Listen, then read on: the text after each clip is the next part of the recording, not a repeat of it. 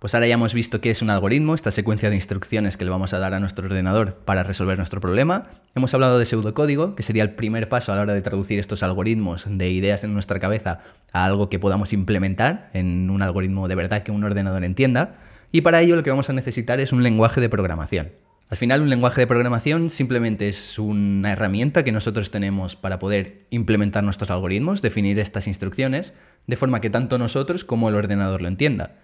Como ya hemos visto en vídeos anteriores, al final un ordenador solo va a entender de ceros y unos, es el único lenguaje que habla, el lenguaje de números binarios. Imaginaros lo complicado que sería decirle a un ordenador lo que tiene que hacer solo con ceros y unos. Para nosotros, para las personas, esto sería imposible. Y aquí es donde los lenguajes de programación entran en juego, ¿vale? Nos ayudan a definir en un lenguaje semi-humano, ¿vale? Ya veremos esto qué significa. Estas instrucciones que luego van a ser traducidas a ceros y unos, que es lo que realmente el ordenador entiende. Y para ello tenemos un conjunto de primitivas, que es lo que vamos a utilizar para definir nuestros algoritmos. Todo esto es lo que vamos a ver a partir de ahora en todos los vídeos que vienen y veremos qué son las variables, cómo podemos hacer operaciones con estas variables, qué son las funciones, bucles, condicionales, clases, eventos, un montón de conceptos que probablemente ahora nos suenen, pero que son todas estas herramientas que los lenguajes de programación nos ofrecen para implementar nuestros algoritmos. Como probablemente ya sabéis, ¿vale? Existen muchísimos lenguajes de programación y cada uno pues implementa de forma diferente todos estos conceptos, pero al final uno de los objetivos de este curso no es tanto aprender un lenguaje de programación, que sería Python, sino cómo trabajar con estos conceptos que todos los lenguajes de programación tienen y por lo tanto si conocéis es relativamente sencillo aprender un lenguaje nuevo simplemente sabiendo la sintaxis en particular, pero teniendo en cuenta que va a trabajar con variables, con funciones, con bucles, esto va a seguir siendo. Podemos hacer una clasificación así a grosso modo de diferentes lenguajes de programación según sean de bajo nivel, de alto nivel o gráficos. Algunos ejemplos de lenguajes de bajo nivel quizá os suenan C, C++, Fortran, ¿vale? Son lenguajes que podríamos decir más clásicos, ¿vale? Los primeros que aparecieron. Y la principal característica de estos lenguajes es que son muy similares a las instrucciones que al final el ordenador va a llevar a cabo. No son instrucciones en ceros y unos, pero casi. Esto hace que estos lenguajes sean como los más difíciles de aprender, pero por otro lado también suelen ser los más potentes, ¿vale? Los más rápidos, más eficientes, los que nos permiten hacer muchas más cosas de forma mucho más rápida. Y el motivo principalmente es este, porque las instrucciones son muy muy similares a las que luego va a llevar a cabo el ordenador, por lo tanto tenemos mucho mucho más control sobre lo que estamos haciendo.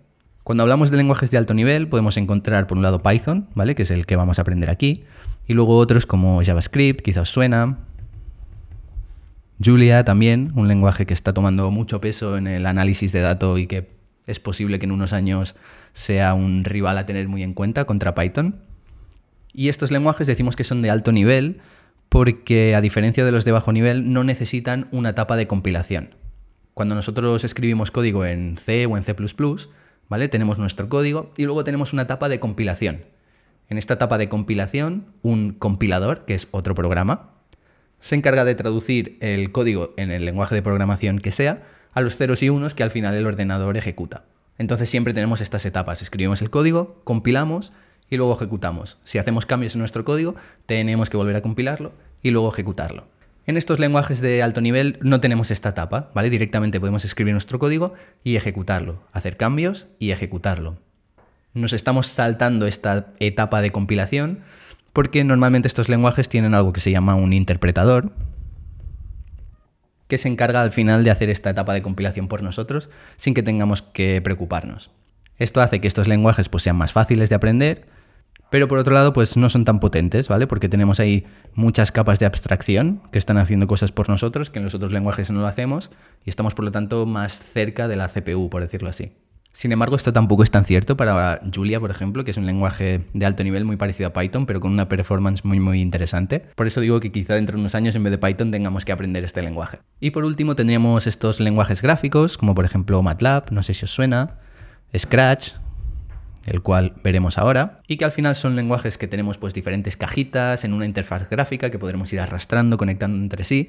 Por lo tanto, como podéis imaginar, son los más más fáciles de aprender y por otro lado no son nada potentes, ¿vale? Entonces siempre tenemos más o menos esta, este trade-off, ¿no? De facilidad contra potencia. Pero bueno, son unos lenguajes muy, muy interesantes para aquellas personas que no saben programar o no se quieren meter y simplemente quieren hacer algo rápido y fácil, pues van arrastrando cajitas, las conectan entre sí, le das a un botón y se ejecuta tu algoritmo. Entonces el objetivo de este curso, como ya sabéis, es aprender Python y es algo que vamos a hacer. Pero bueno, para empezar, vamos a introducir estos conceptos de variables, operaciones, funciones, de forma muy sencilla, muy alto nivel, con Scratch, ¿vale? Haciendo unos cuantos ejercicios muy sencillitos, de forma que asentéis estos conocimientos, de manera que cuando entremos en Python, pues no sea un choque tan grande. Eso es lo que haremos en los próximos vídeos. Si ya tenéis un conocimiento de qué son las variables, operaciones, pues quizás os los podéis saltar e ir directamente a, a los vídeos de Python. Pero bueno, si no habéis hecho nunca nada de programación y es la primera vez que escucháis sobre variables, operaciones, os recomiendo que os los veáis e incluso que por vuestra cuenta pues practiquéis un poco con este lenguaje que vamos a ver, Scratch, porque es muy sencillito, ya veréis, arrastrar cajitas, conectarlas entre sí y va muy muy bien para hacer una introducción a estos conceptos y asentarlos bien.